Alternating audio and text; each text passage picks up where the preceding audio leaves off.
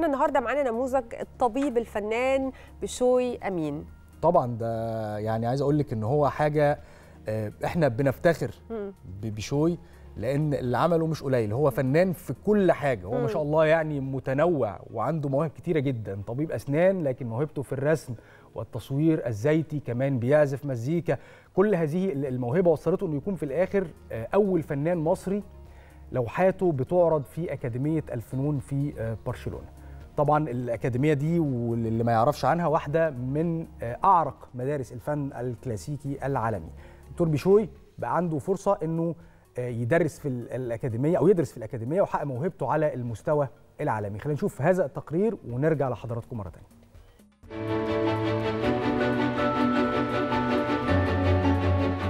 بشوي أمين. طبيب أسنان تمسك بحلمه وموهبته في فنون الرسم والتصوير الزيتي إلى أن أصبح أول مصري يدرس بدوام كلي لأكاديمية الفنون ببرشلونة ويعرض لوحاته الفنية بمعرضها ليضع اسمه على أول طريق الفن الكلاسيكي العالمي. بشوي أمين. طبيب أسنان تمسك بحلمه وموهبته في فنون الرسم والتصوير الزيتي إلى أن أصبح أول مصري يدرس بدوام كلي لأكاديمية الفنون ببرشلونة ويعرض لوحاته الفنية بمعرضها ليضع اسمه على أول طريق الفن الكلاسيكي العالمي. خطوات متسارعة ومجهود كبير بذله بشوي أمين في مجال الفن الكلاسيكي بدأ بالدراسة عبر دورات تدريبية في أكاديمية برشلونة خلال إجازة دراسته بكلية طب الأسنان بالإسكندرية قبل أن يدرس بدوام كلي في الوقت الحالي بعد تخرجه وعمله الطبي ولم يقف طموحه عند ذلك بل يأمل في أن يصل إلى مستويات الفنانين العالميين مثل رايان براون ودانيال بيلمس ودوريان آيتن وجيرمي مان.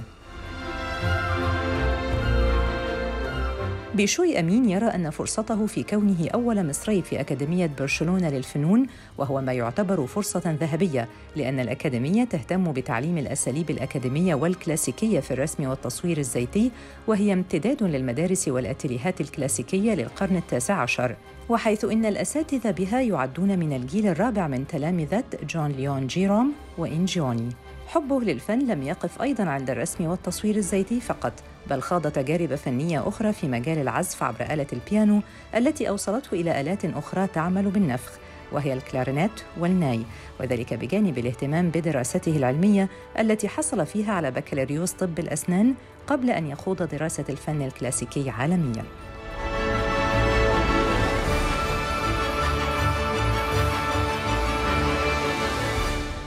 يمكن زي ما شفنا في التقرير بشوي أمين مش بس موهوب في الرسم لكن كمان موهوب في العزف والموسيقى. ودلوقتي معانا عبر ال Zoom صباح الخير عليك يا بشوي من صباح برشلونة. النور عليكم كلكم. أهلا وسهلا. نقول لك buenos días buenos días يعني إحنا كان سؤال الحلقة عندنا النهارده يا بشوي بيقول إنه ال- ال social media أثرت في شخصيتك إزاي؟ آه، ويمكن أنت كرسام دلوقتي أو فنان آه، الموضوع ده هيفرق معاك في إنك تعرض آه، لوحاتك وتعرض موهبتك. فهل ال social media أثرت فيك؟ بس أي حاجة ليها إيجابيات ومساوئ. سواء بالسلب أو بالإيجاب. آه ال social media كانت واحدة من الأسباب لو هنتكلم على ال positive side إن هي قدرت توصلني بال academy في نفس الوقت آه. هي تعتبر زي open gallery معرض مفتوح لكل الناس. بيقدروا يشوفوا شغل الفنانين من كل العالم بتسهل ال connection والتواصل أكتر ما بين الناس وبعضها ففي جانب إيجابي كبير جدا جدا إلى جانب كمية المعلومات المتاحة اللي موجودة على الإنترنت اللي كان ممكن قبل كده نكون بندور عليها بشمعة في ممكن في ظرف خمس دقائق يكون عندي PDF كبير جدا جدا مليان معلومات يقدر يفرق في ال... يعني زي ما بيقولوا في في المجال كله. آه، ده سهل الدنيا جدا جدا منتهى السهوله وعمل connection وتواصل ما بين الناس في ال في field ده من الحاجات يعني الموجوده طيب إحنا عايزين نتكلم طبعا عن اللوحات اللي أنت بتشارك بيها في الأكاديمية لكن آه، أنت إزاي أصلا بدأت في الفن؟ رحلتك مع الفن بدأت إزاي؟ وبعدين الشخصية يعني طبيب أسنان و... و... ورسام وبيعزف كلارينيت وبيانو و... وناي.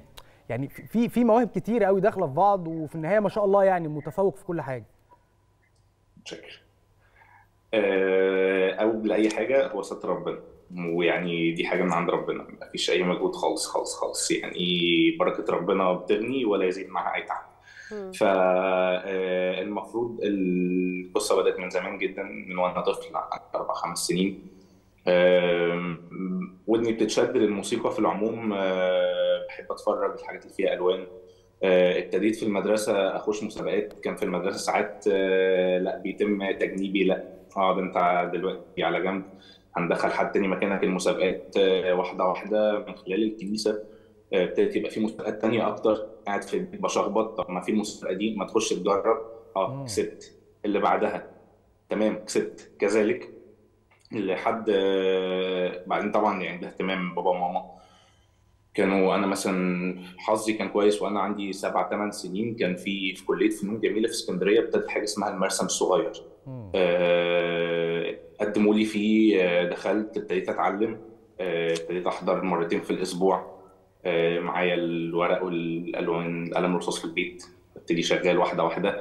آه، مع المسابقات آه، بعد كده في سن حوالي 13 سنة كنت آه، في مسابقة كبيرة جدا بتتعمل تبع صفيه الشباب آه، في الكنيسة على مستوى مصر كلها. كنت آه، كان في مؤتمرات تحضيرية ليها المؤتمرات دي بتبتدي من سن جامعة.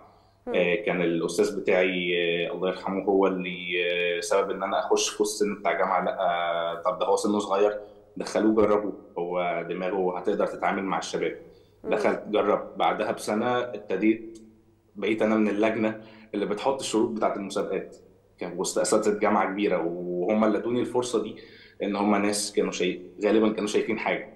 آه، في الوقت ده كنت بلعب بيانو وبلعب موسيقى ان باراليل كأنشطة عادية جنب الدراسة خالص. وابتدى الموضوع يكمل واحدة واحدة لحد ما في صيف 2018 آه، كنت أنا في الكلية جيت على طول هنا على الأكاديمية في course بسيط آه، جاء ال- ال director أو العميد بتاع الأكاديمية داخل ال- الاستوديو بتاع الرسم بيبص مين ال- اللي عنده 19 سنة ولا 20 سنة اللي جاي سايب مصر وجاي آه، برشلونة أسبوعين ولا يصيف ولا ينزل بحر جاي مجرد بس عشان ينزل آه، يرسم معايا.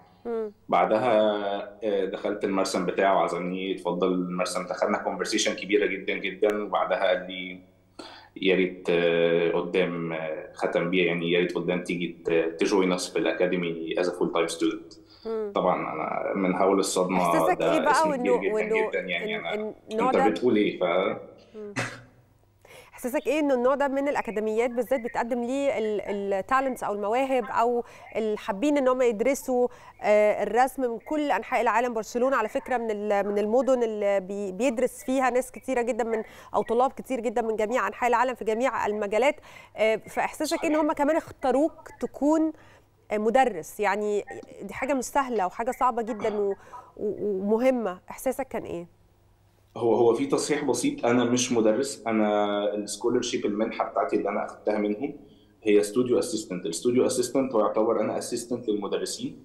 في أي حاجة ليها علاقة بالاستوديوهات بتاعت الأكاديمية وال set up والكلام ده كله.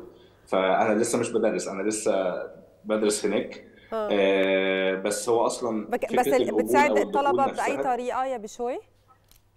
آه، كانت صعبة شوية لأن إحنا عدد ال academy في الثلاث سنين في القسمين بتاعة النحت والرسم والتصوير آه، 150 طالب من كل العالم. فبضطر أبعت CV كويس آه، بضطر أبعت portfolio كويس recommendation letters قوية جدا.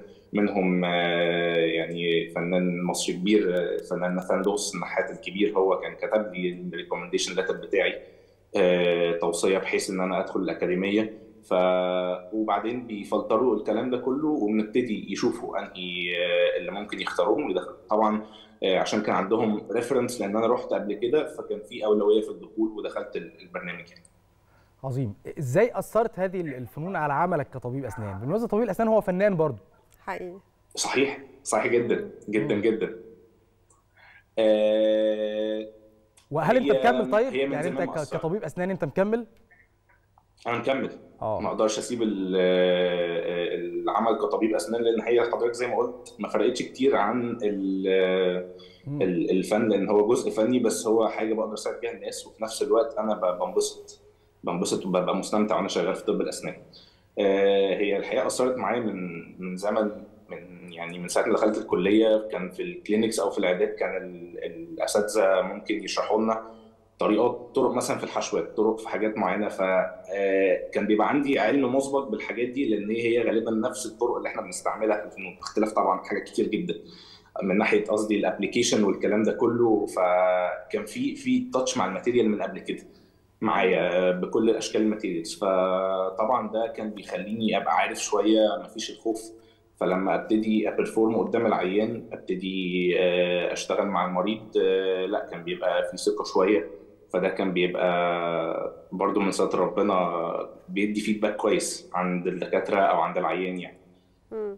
طب دايما لما توصل لخطوة بيبقى عينك على اللي بعدها عينك على إيه في اللي جاي في الرسم؟ هو الحقيقة يعني أنا الأهم دلوقتي بالنسبة لي اللي أنا بفكر فيه إن أنا أطور بس من نفسي إن أنا أتعلم أكتر. أي فرصة أقدر أتعلم منها أتعلم منها. حتى الأسماء الكبيرة اللي اتقالت في التقرير كمثال دول ناس درسوا لي وناس مدرسين ليا. فانا حاليا في ال painting program في الأكاديمي. فكل الهدف بتاعي بس حاليا إن أنا طبعا أنشر يعني أنشر الفن بتاعي بس وبعدين أتعلم. بس الخطوة اللي بعدها لو في option إن أنا أدرس سواء في الأكاديمية أو بره الأكاديمية وبالذات عندنا في مصر بحيث إن أنا جربت إن المعلومة ما تكونش متاحة بسهولة لكل الناس. فأنا عاوز أديها اللي أقدر أديها له. يعني عظيم. تحت أي شكل أي حد محتاج ده لأن أكيد في ناس كتير جدا جدا ممكن يكونوا أحسن مني. فخورين جدا بيك على فكرة يا بشوي ما لهمش فرصة يعني.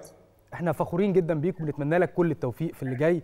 وبالمناسبة بشوي وأهله كمان في دعمه ليه من هو طفل لحد ما وصل إلى هذه المكانة. بيدوا درس مهم جدا إن إحنا لازم ندعم أولادنا لازم ندعمهم في ممارسة هواياتهم. مش هواية واحدة ده ما شاء الله هوايات متعددة وبشوي كان متألق وكان ناجح في كل هذه الهوايات وفي نفس الوقت قدر إنه ينجح في دراسته ويدخل كلية طب وطب أسنان وما شاء الله متفوق. كل التوفيق ليك في اللي جاي إن شاء الله يا بشوي الفنان بشوي أمين. شكرا جزيلا ليك. يعني في الحقيقة بشوي فعلا حاجة ملهمة جدا. فعلا حقيقة.